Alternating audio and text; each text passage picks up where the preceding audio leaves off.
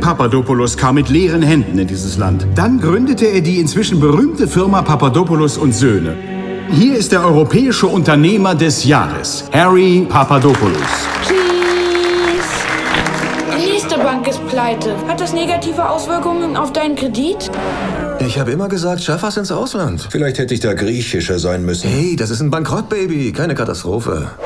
Was gehört rechtlich gesehen noch uns? Der Fish and Chips Shop. Wegen eines Miteigentümers namens äh, Spiros Papadopoulos. Ich will die drei Brüder verkaufen.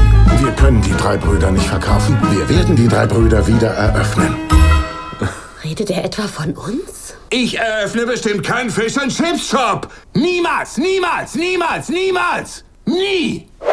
Ich bringe euch griechische Tänze bei. Wir frittieren ein paar Fische. Toll. Ich versuche was Gutes dran zu finden. Und? Nein, gar nichts. Das, was Sie gerade mit Ihrem Bruder machen, klingt befreiend. Das ist wie ein Startup.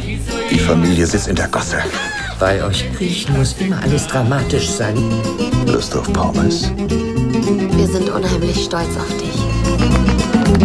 Die besten Fish and Chips in London. Ruf an, wenn du an die Börse gehen willst. Im Leben kommen nur zwei Dinge ganz gewiss. Der Tod und die Steuern. Es sei denn, man ist Grieche. Dann nur der Tod. Das ist ihr neuer Partner. Nein, musst du dir erst verdienen. Mitkommen.